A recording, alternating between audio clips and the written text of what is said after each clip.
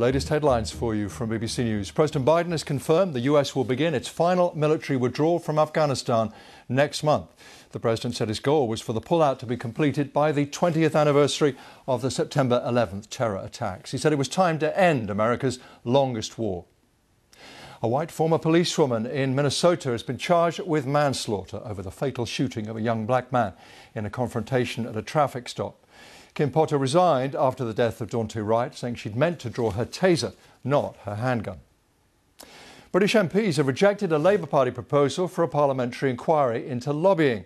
The former Prime Minister, David Cameron, contacted ministers while working for the finance firm Greensill Capital, which has now collapsed.